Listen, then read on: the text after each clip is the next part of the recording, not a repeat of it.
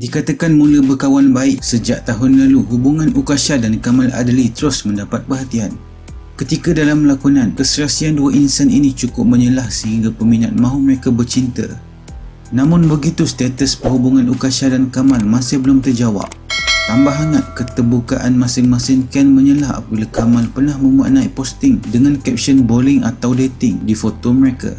Ukasha juga dilihat banyak kali menemani Kamal ke event membabitkan ahli keluarga. Bertanya status perhubungan mereka, Ukasha berkata, kalau hendak tanya mengenai Kamal, sebaiknya tanyalah dia. Lagi manis jika pihak lelaki yang bercakap berbanding perempuan. Buat masa ini kami selesa berkawan. Tak salah kan berkawan? Saya pun tak tahu jodoh dengan siapa, jadi saya terbuka berkawan dengan sesiapa sahaja katanya. Mengulas soal hati, Ukasha percaya andai tidak ditakdirkan bersama insan tertentu, pastinya jodoh itu tetap ada. Jika berkenalan dengan insan tertentu, belum tentu si polan itu jodoh kita. Apa yang pasti Tuhan jadikan kita hidup berpasangan.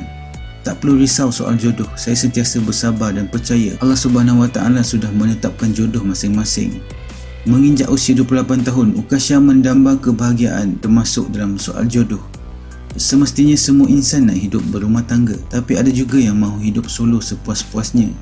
Pada usia ini saya teringin ada rumah tangga suami dan anak. Cuma jodoh belum sampai lagi.